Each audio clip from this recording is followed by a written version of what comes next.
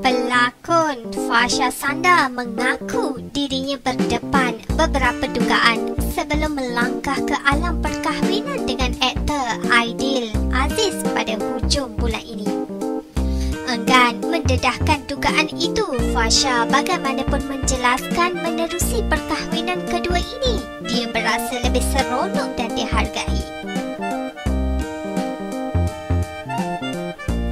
Menurutnya, dia menegaskan dirinya enggan menyebut atau membandingkan dengan perkahwinan terdahulu sebaliknya sekadar berkongsi perasaannya sekarang.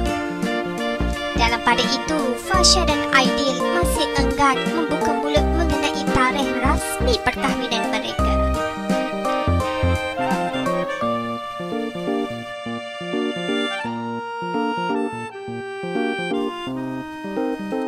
Terdahulu, pasangan itu mengikat tali pertunangan pada 18 November tahun lalu.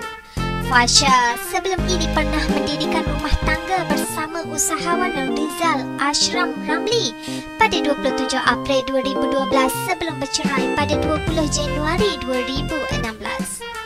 Hasil perkahwinan itu mereka dikurniakan dua cahaya mata iaitu putera Refal 5 tahun dan Saja 八大户